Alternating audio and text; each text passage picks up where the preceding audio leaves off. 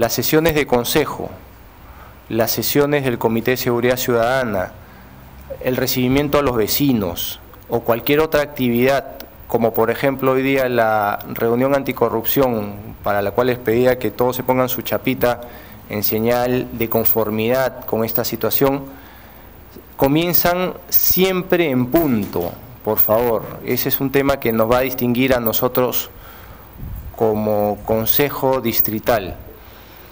Bien, habiendo dicho esto, pasamos ya a la aprobación de las actas pertinentes. La primera aprobación tiene que ver con el acta de la sesión ordinaria de Consejo de fecha 7 de febrero del año 2011. Al debate, si no hay debate, la sometemos a aprobación. Aquellos que estén de acuerdo con aprobar el acta de la fecha mencionada, sírvanse levantar la mano en señal de conformidad. Aprobado por unanimidad de los presentes. la segunda aprobación tiene que ver con el acta de la sesión extraordinaria del Consejo de fecha 16 de febrero del año 2011. Los que estén de acuerdo, sírvanse levantar la mano en señal de conformidad. Los que estén en contra, aprobado con una abstención, ¿correcto? La abstención del arquitecto, del ingeniero Alarco, perdón. No estuvo presente en aquella oportunidad y por ello guarda coherencia y se abstiene. Muy bien. Aprobadas que han sido estas dos actas, damos paso a nuestra, a nuestra estación de despacho. Sí, señor alcalde. En la estación de despacho hemos recibido eh, algunos eh, documentos relacionados a felicitaciones a la nueva gestión. Eh, voy a proceder a leerlos. Miraflores, 9 de febrero del 2011. Doctor Jorge Muñoz, alcalde de la Municipalidad de Miraflores de mi más alta consideración. La presente es para agradecerle la amabilidad y la caballerosidad con que fui atendida por usted el día de hoy en sus oficinas, deseándole muchos éxitos en su labor profesional. Quedo de usted cordialmente, Rosa Zavala.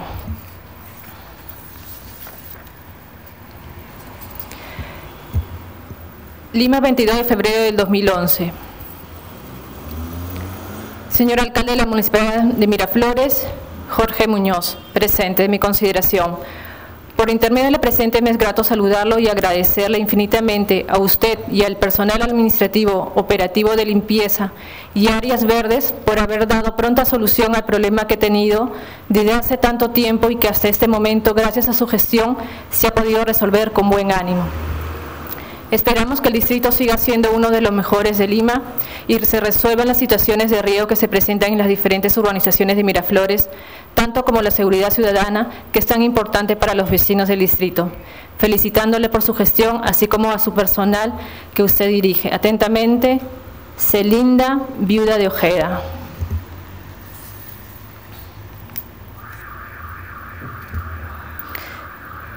Señor alcalde de la Municipalidad de Miraflores, me permito felicitar al municipio por el excelente servicio denominado Servicios en Línea, que presta a los ciudadanos que como yo vivimos en el extranjero. Este tipo de innovaciones se necesita para poner no solo a Miraflores, sino al Perú en el sitio que le corresponde en el siglo XXI.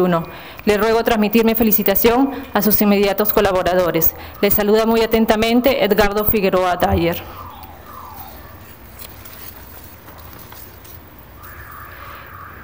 Señor alcalde, también nos, la Secretaría General ha recibido el oficio número 049 del 2011, guion OSI, en el cual eh, nos hace eh, referencia eh, acerca de unas directivas sobre el ejercicio de control preventivo por la Contraloría General, el cual voy a proceder a leer. Es grato dirigirme a usted en el marco del control preventivo sin carácter vinculante que realiza este órgano de control institucional en su modalidad de orientación de oficio a fin de mencionarle que la normativa de la referencia en su artículo 20, numeral 15, establece que son atribuciones del alcalde informar al Consejo Municipal mensualmente respecto al control de la recaudación de los ingresos municipales y autorizar los ingresos de conformidad con la ley y el presupuesto aprobado. Es de precisar que este órgano de control viene empleando como una de las fuentes de consulta para las orientaciones de oficios del despacho de alcaldía el calendario municipal que se muestra en la página web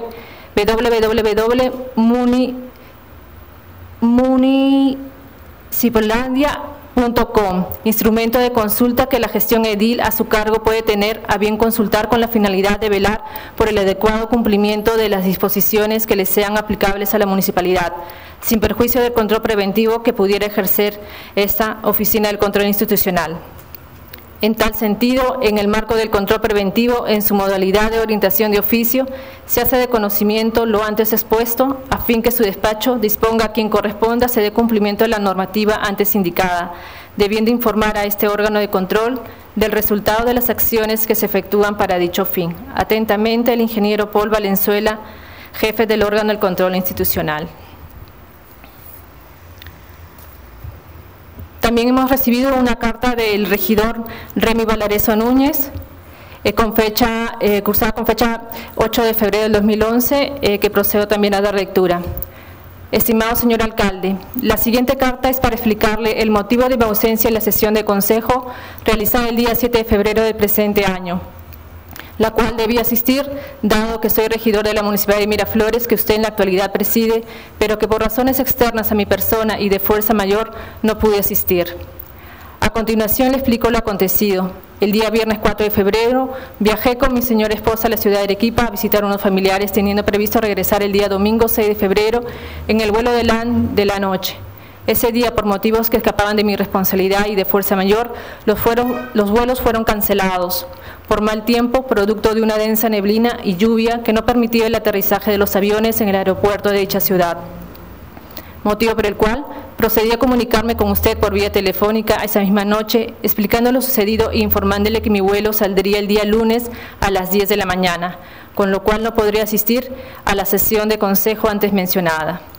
Debido a la persistencia de la lluvia y la niebla en la ciudad de Arequipa, el vuelo fue nuevamente cancelado, pudiendo recién retornar a la ciudad de Lima el día de hoy a las 12 pm.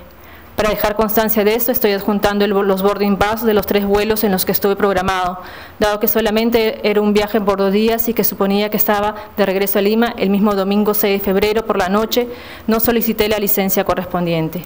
Escribo esta carta a su persona con la finalidad de dejar constancia que mi ausencia a dicha sesión de consejo del día lunes 6 de febrero fue por motivos de fuerza mayor que escapan de mi responsabilidad. Me despido de usted y quedando a su entera disposición, un cordial saludo. Atentamente, Remy Valareso Núñez. Es todo, señor alcalde. Bien, muchas gracias. Solamente un par de comentarios con relación a, estos temas, porque creo que sí son de mucho interés y de mucha importancia. El primero, con relación a, la directiva de la Contraloría, eh, siempre vamos a tener abiertas las posibilidades de rendiciones y de información. Y reitero lo que el Consejo ya conoce y ya sabe, cualquier información está a disposición de ustedes. Me gustaría que cualquiera de ustedes, si tuviese alguna inquietud, lo pueda hacer a través mío, no hay ningún problema. Y en relación a la carta acuciosa y muy bien detallada de parte del regidor Remy Valareso. Agradezco su preocupación.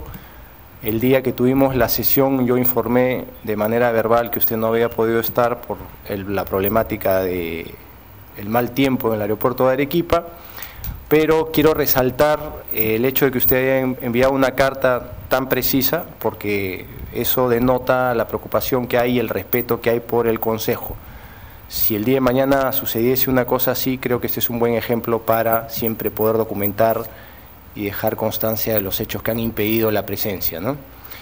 Bien, eso solamente como comentarios. Pasamos a la siguiente estación, señorita secretaria. Orden del día. Perdón, informes.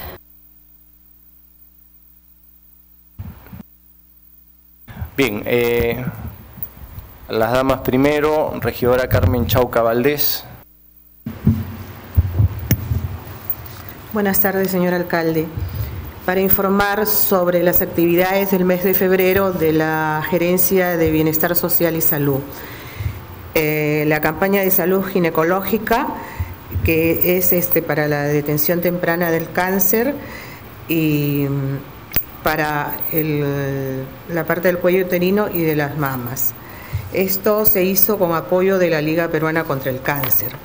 Luego la campaña de salud dermatológica también eh, se realizó en la playa con ayuda de la Liga Peruana contra el Cáncer. La campaña de, vacunación y desparasitación de mascotas que es con el objetivo de promocionar la tenencia responsable de mascotas, prevenir la aparición de zoonosis empadronar a los canes del distrito según ordenanza municipal. La campaña de salud para los niños, el objetivo, brindar un chequeo general a los niños próximos a iniciar un nuevo año escolar, previniendo enfermedades e incentivando conductas saludables. Eh, se ha realizado esto el día domingo y el objetivo ha sido los niños del programa del vaso de leche. Después el programa de verano saludable, también con vigilancia y monitoreo sanitario de las playas y piscinas del distrito. Em, esto se realiza todos los se realizó todos los miércoles en las diferentes playas de la Costa Verde. Campaña de la cevichería saludable, el objetivo, la vigilancia y monitoreo higiénico sanitario de las 50 cevicherías del distrito. Es todo, señor alcalde. Bien, había levantado la mano también, me parece, el regidor Molina. En ese orden vamos el regidor Molina, regidor Valareso y habiendo levantado al final la regidora Olavide, salvo que ustedes, caballeros, quieran cederle a la regidora. Gracias. Gracias, señor alcalde, gracias, colegas. Eh, simplemente para informar que tuvimos la visita de cuatro regidores del Distrito de la Libertad de Ecuador. Eh, ellos estuvieron de martes hasta ayer domingo en, eh, Lima. Y eh, Miraflores estuvieron el día martes y se les hizo, tuvimos una reunión con ellos y se les hizo un paseo por todas las áreas de la municipalidad. Este, quiero agradecer, a mis colegas, que en realidad eh, Rocío Andrade y Carmen Chauca fueron y Pilar Bonilla, que fueron las que los dirigieron con el bus de la municipalidad a hacer todo este paseo y creo que han quedado gratamente impresionados de todas las actividades que se realizan en Miraflores. Y luego se les coordinó para que también pudieran eh, visitar otros distritos. Entonces, aprovecho para agradecerle a mis compañeras la atención que le dispensaron a ellos. ellos nos han invitado también a hacer un, paseo también al Distrito de la Libertad en Ecuador, con lo cual, bueno, se coordinarán en su momento, en el momento debido. Gracias. Sí, y gracias, señor alcalde. El día de hoy eh, se va a ver un proyecto de acuerdo de consejo que se felicita y se reconoce eh, la intervención positiva que hizo el fiscalizador Manuel Sigueño Fredes y Fuentes Abad, en el cual le adelanto mi voto va a ser eh, a favor, ¿no? Pero en la mañana eh, ha habido una noticia de Canal 2 que menciona a dos fiscalizadores de la Municipalidad de Miraflores, en la cual aparentemente ha habido un abuso de autoridad contra un heladero Sería interesante, señor alcalde, que se investigue y si hay responsabilidad, así como se premia, también se sancione. Ese es todo, señor alcalde. Gracias. Muchas gracias. Señor Valareso. Sí, señor alcalde, gracias por darme la palabra. Eh, primero quería dejar este, ya los boarding pass, los originales, se los voy a dar a la doctora Roxana Calderón quería dar, había sacado las copias, pero quería dar los originales para que haya totalmente transparencia en, el sentido. Y en segundo lugar, este, se me acercaron un grupo de vecinos de la calle Italia, de la cuadra 1 y de la cuadra 5 de Grau, un poco mortificados por el tema de, que las, vías en esa zona no están bien en buen estado, ¿no? Diciéndome que, por medio mío le, le comunico a usted a ver si se podía hacer algo para, mejorar las pistas en dicha zona. Gracias, señor alcalde. Bien, solamente para hacer una brevísima precisión, hemos tomado nota de esto, pero los pedidos, según el reglamento, tienen que hacerse por escrito. Por el ánimo de darle la flexibilidad del caso, bienvenido el pedido, pero me gustaría que eh, busquemos un respeto al reglamento para tal efecto. Regidora Bonilla. Señor alcalde, he levantado última la mano para que no me cedan la palabra, porque no es de mi gusto que los caballeros me cedan la palabra por ser dama, creo que los dos tenemos los mismos derechos.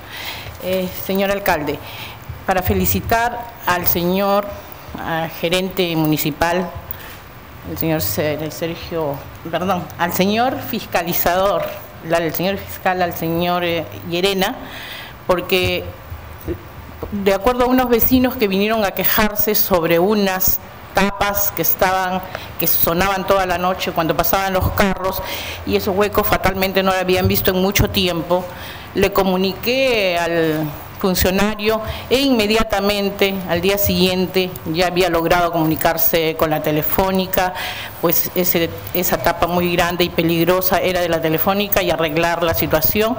Espero que todos los funcionarios actúen de la misma manera y agradezco que haya actuado así para la tranquilidad de los vecinos. Muchas gracias, regidora. Eh, aprovecho la oportunidad para mencionarles lo siguiente. Eh, estamos nosotros eh, aplicando el principio de autoridad en la ciudad, estamos trabajando muy firmemente y eso ha traído muy buenos resultados porque hay algunos eh, lugares o actividades que no necesariamente son o lugares autorizados o actividades autorizadas. En ese sentido, la labor de fiscalización es muy importante y entre otras cosas quiero compartir con ustedes algunas de las 23 clausuras que han habido en los últimos días, quiero compartir con ustedes dos elementos que son para nosotros muy, pero muy importantes. Hemos fiscalizado la construcción del Hotel Hilton y hemos encontrado que el Hotel Hilton tiene dos pisos más de los pisos autorizados.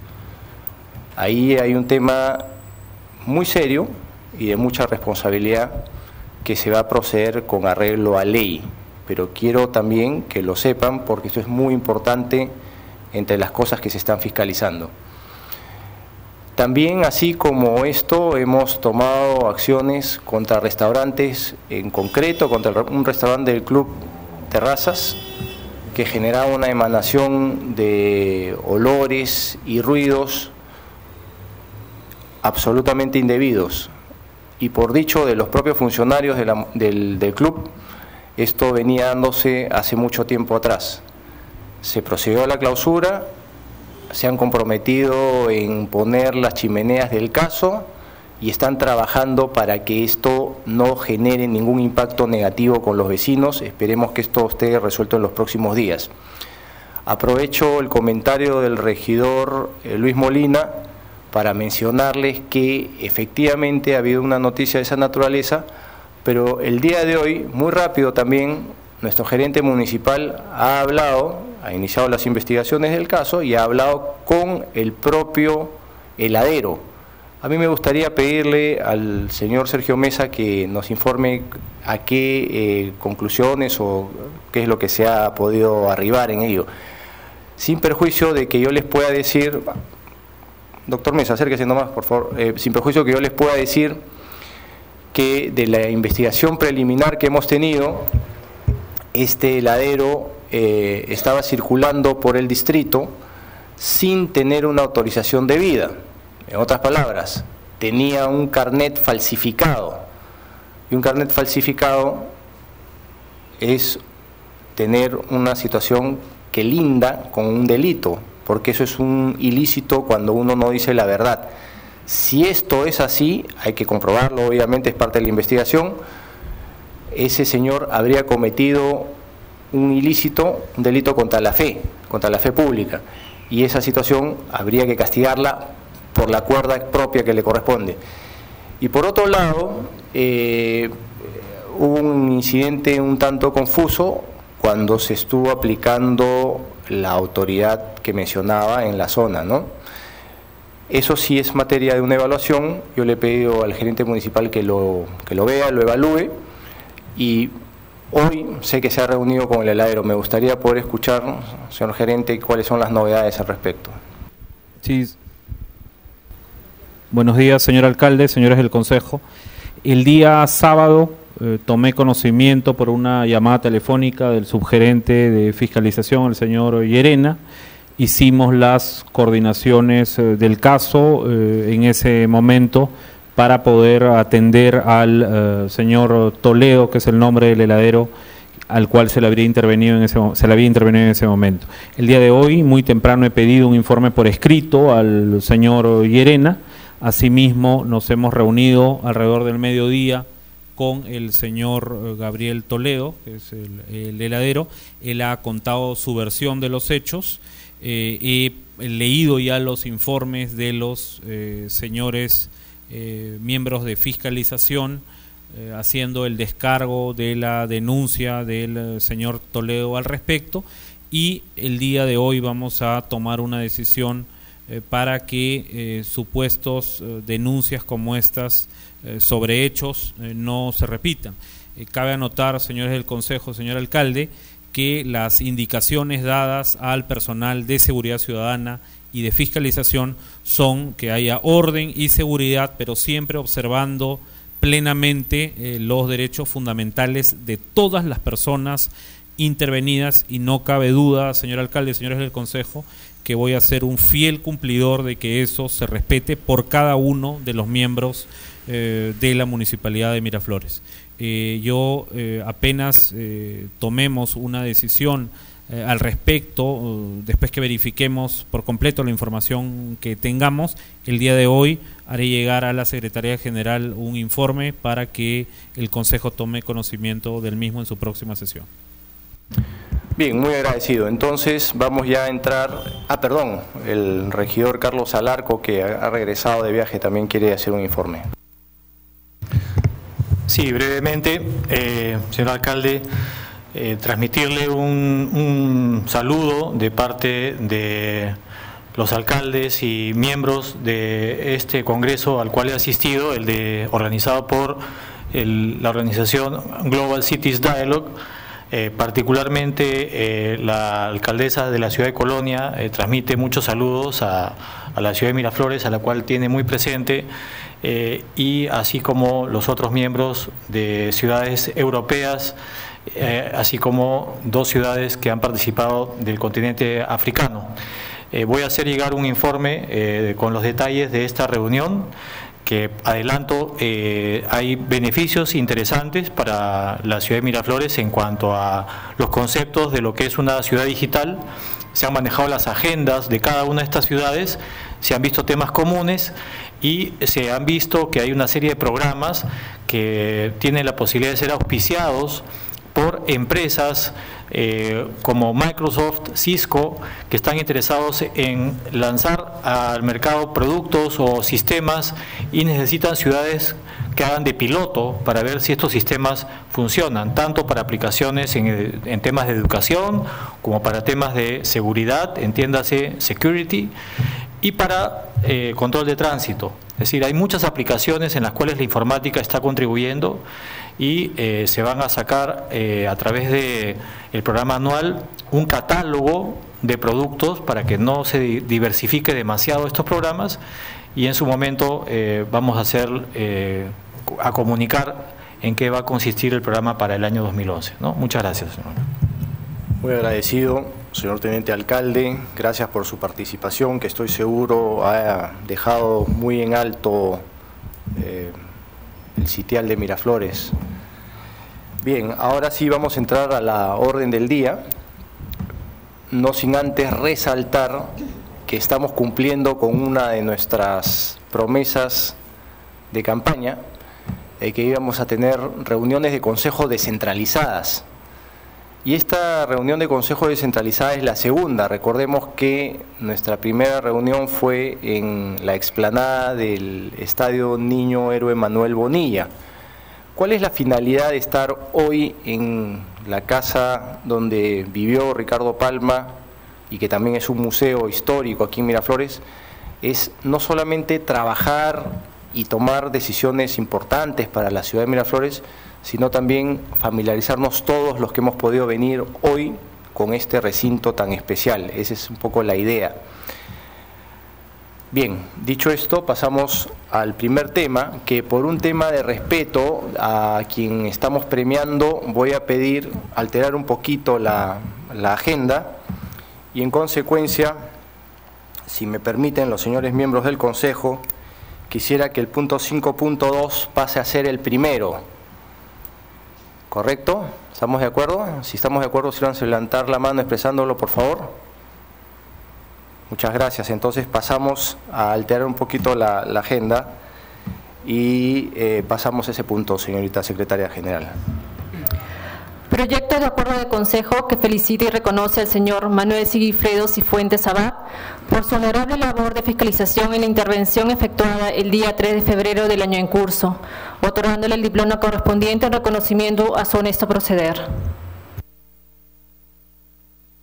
Bien, entonces, eh, teniendo este punto en debate, eh, pregunto si alguien quiere hacer un comentario o si lo pasamos a aprobar de frente. No hay debate. Si no hay debate, con el reconocimiento pleno de todo el Consejo, procedemos a votarlo. Los que estén a favor, sírvanse levantar la mano. Muchísimas gracias. Aprobado por unanimidad. Voy a pedir que nos pongamos de pie y le demos un aplauso al fiscalizador.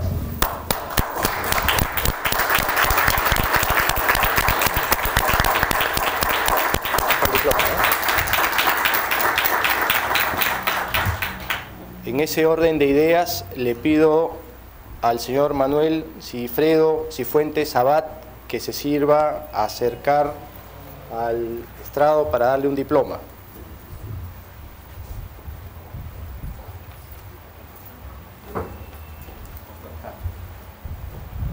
Esto es el señal de reconocimiento de la ciudad de Miraflores porque personas valerosas como usted deberían haber muchas.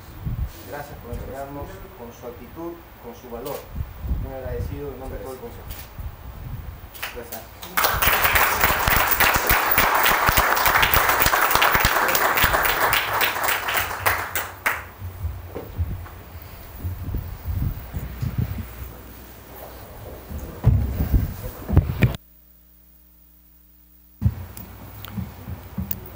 Bien, con el ánimo de eh, ir liberando a las personas que puedan estar acá, que tengan que hacer otras actividades. Permítanme eh, pasar otro punto como segundo punto de la agenda, el punto 5.4, que es el proyecto de ordenanza que aprueba el reglamento de organización y funciones y responsabilidades de la Procuraduría Pública Municipal de la Municipalidad de Miraflores como siguiente punto. Lo sometemos a debate. Señor Molina. Gracias, señor alcalde.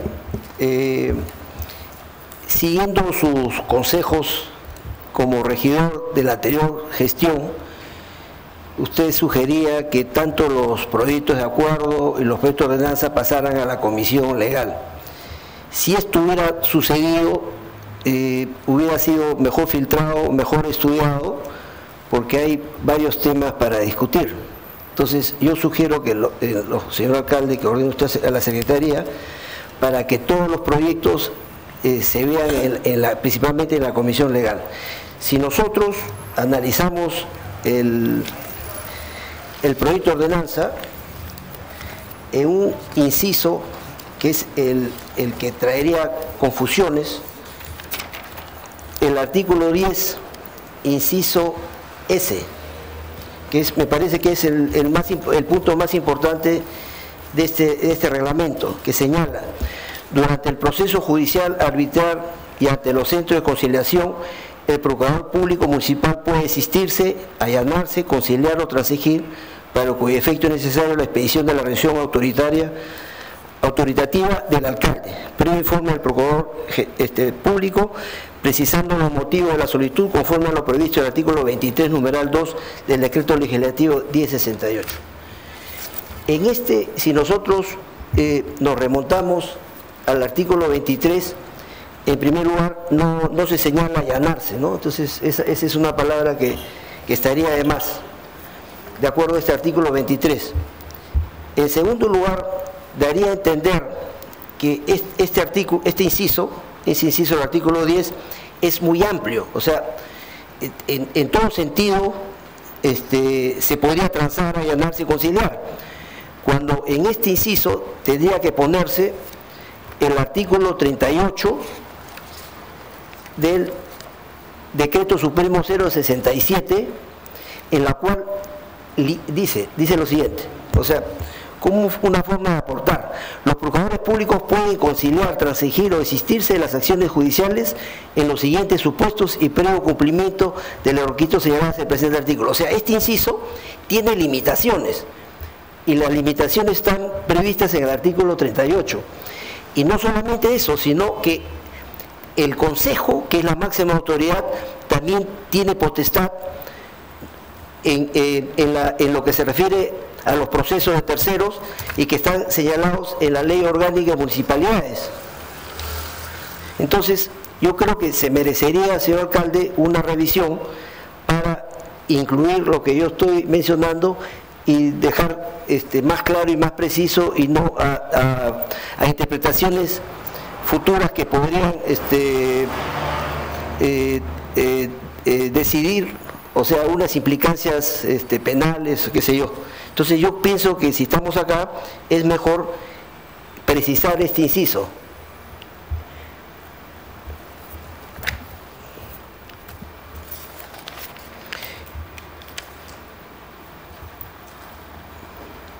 El artículo 9 dice ah, eh, de, la, de la ley orgánica de municipalidades que también hay que incorporar la acá, dice autorizar al Procurador Público Municipal para que defense los intereses y derechos de la municipalidad y bajo responsabilidad inicie impulso procesos judiciales contra los funcionarios, servidores o terceros respecto a los cuales el órgano de control interno haya encontrado responsabilidad civil o penal.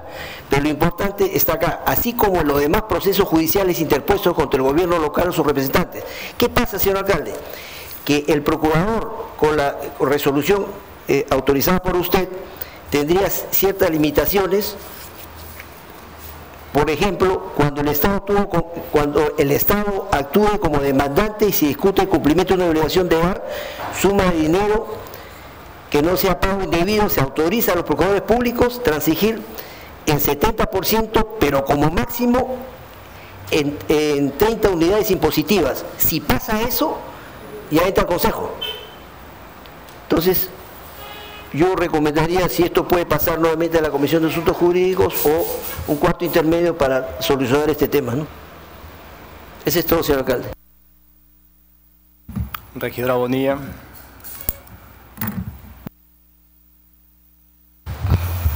Señor alcalde, entiendo que el procurador eh, se rige por las normas del Consejo de Defensa Judicial del Estado y que el ROF tiene que ser compatible con ello. Creo que si es así no habría ningún problema de votar a, favor de esa norma. Bien, gracias por su intervención. Es, ese es el planteamiento que se ha hecho justamente con la norma. En consecuencia, yo no veo el problema para proceder a la votación. Pero le voy a pedir al, doctor Grimaldo Vera Frank, que es el autor de esta ponencia, que sustente el tema, por favor.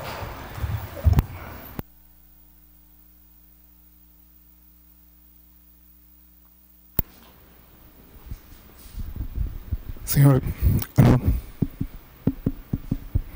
señor alcalde, señores regidores, efectivamente, como manifestó la regidora Bonilla, la idea es equilibrar el ROF con lo dispuesto eh, con el órgano dependiente de Procuraduría, o mejor dicho, Procuraduría depende de un órgano de mayor nivel.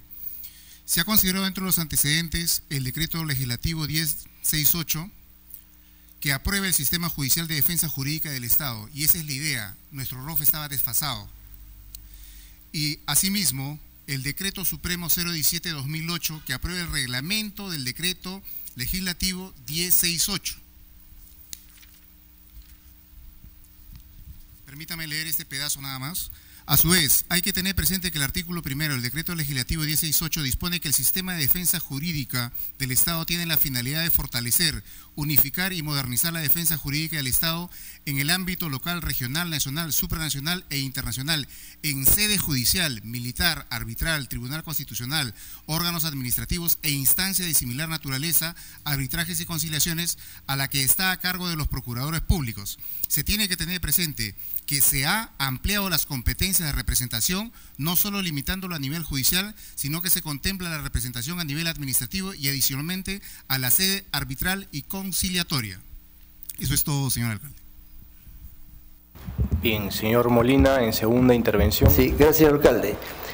Eh, yo estoy de acuerdo que se apruebe el ROF, pero el inciso este C da a entender que es esto general cuando hay limitaciones, y las limitaciones, como le he mencionado yo, es el reglamento del artículo 38, es incluir acá el artículo 38 de las limitaciones que tiene, y aparte de ver también el, artículo 9 del inciso 23, que es el consejo que en el caso que las limitaciones, las limitaciones se superen, a eh, eh, el consejo a, una autorización al procurador para transigir y ¿no?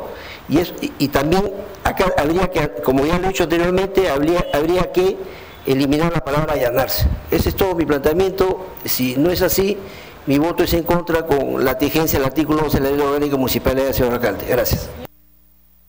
Regidora Pilar Bonilla, en segunda intervención. No sé, pero quizás puedan informarme.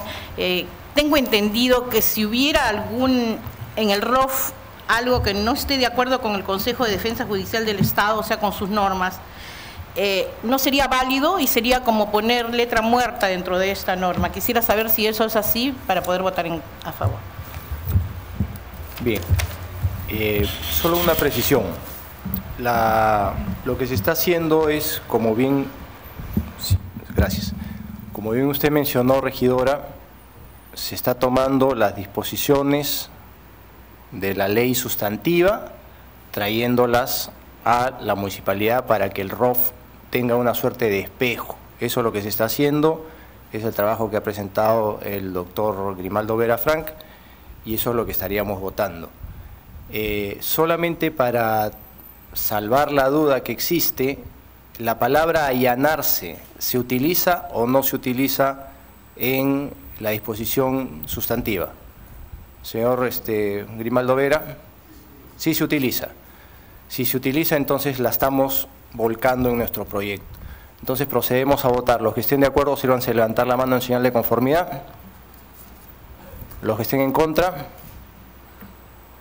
votación por mayoría con un voto en contra del señor Molina. Muchas gracias. Siguiente punto. Ahora sí entramos al punto primero de la agenda nos reordenamos. Las personas que eh, han sustentado pueden quedar liberadas para que sigan con sus actividades cotidianas en la municipalidad.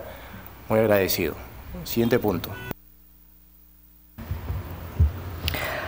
Proyecto de acuerdo al Consejo que otorga la Medalla Cívica Municipal de Miraflores en el grado de vecino ilustre, categoría de Ciencias y Humanidades, al Reverendo Padre Armando Nieto Vélez, vicario parroquial de la parroquia Nuestra Señora de Fátima. ¿Alguien va a sustentar este proyecto?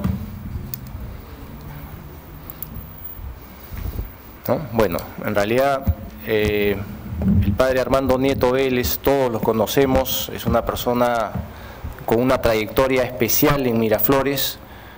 Primero que nada es una gran persona, en segundo lugar un gran sacerdote, en tercer lugar un excelente historiador, profesor de la Universidad Católica y de otros medios de enseñanza aquí en Lima un hombre con una humildad a prueba de balas y la verdad que va a ser un lujo tenerlo como medalla cívica para la ciudad. Gracias por la propuesta y vamos a proceder a la votación del caso. Los que estén a favor, sírvanse a expresarlo levantando la mano en señal de conformidad. Aprobado por unanimidad. Siguiente punto, muchas gracias. Proyecto de acuerdo de consejo que aprueba la adenda al convenio de cooperación interinstitucional para el programa Leer es estar adelante, a ser suscrito entre la Municipalidad de Miraflores y la Fundación BBVA Banco Continental. Al debate, perdón, señor regidor Silvanano. Señor alcalde, por su intermedio y con la venia de la señora Franca Camino, Rey Camino, perdón. Eh, nos han alcanzado un informe de la Gerencia de Educación, la licenciada Elsa Sarabia, lo que es muy amplio, y eh, el cual estoy 100% de acuerdo en la suscripción o renovación de este convenio. Lo que me permito resaltar es que, de acuerdo al informe de la señora gerenta de Educación Elsa Sarabia, han sido 1.336 estudiantes los que se han visto favorecidos con este programa, así como 57 docentes. Y contando con el informe a favor de nuestro asesor legal, pues considero que es un proyecto expedito para su aprobación. Gracias, señor alcalde. Muy agradecido, regidora Pilar Bonilla.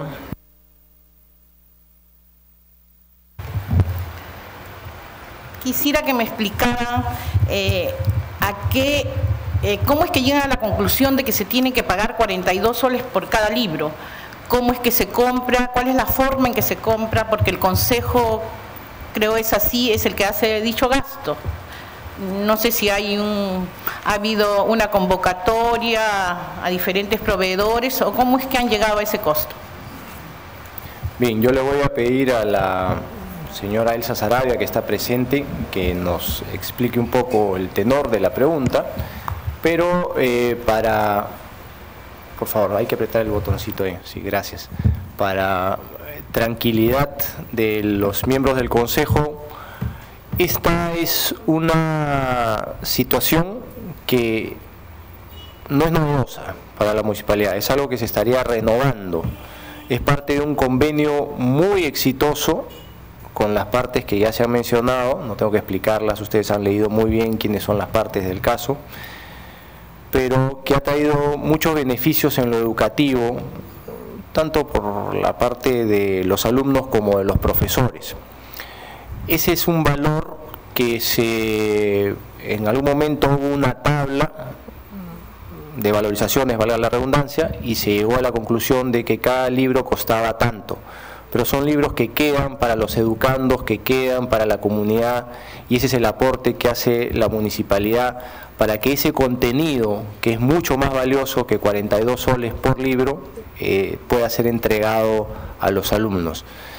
E, eso es algo que en la gestión anterior tuvimos la ocasión de aprobar la regidora Olavide, el regidor Molina, el regidor Silvanano y quien habla. Y ahora lo que estamos haciendo es justamente aprobando una adenda para darle vida a este convenio que estaría, eh, digamos, desamparado si no se le aprobase hoy. No sé si hay algo más que eh, la señora Elsa Sarabia quiera añadir a esta explicación, ¿no? Es clarísimo. No sé si queda claro, señora regidora. Sí, señora alcalde, estoy totalmente de acuerdo, como no voy a estar de acuerdo con que se mejore la educación. Solamente quería saber ello porque decía de dónde salió 42 soles, podría ser 80, 100 o 20. Quería saber de dónde salía ese presupuesto. Gracias. Hola, gracias a usted, más bien totalmente válida su preocupación. Procedemos entonces a la votación. Los que estén a favor, sírvanse levantar la mano en señal de conformidad. Aprobado por unanimidad. Muchas gracias. No hay otro tema, señorita secretaria general. No habiendo entonces otros temas que tratar, se procede a levantar la sesión, no sin antes pedirle su aprobación para que eh, se nos exonere de la aprobación del acta, para que estos eh, actos aprobados esta mañana o esta tarde ya tengan validez absoluta. Los que estén a favor, si a levantar la mano. Muchas gracias por la dispensa y aprobación del acta. Entonces se levanta la sesión.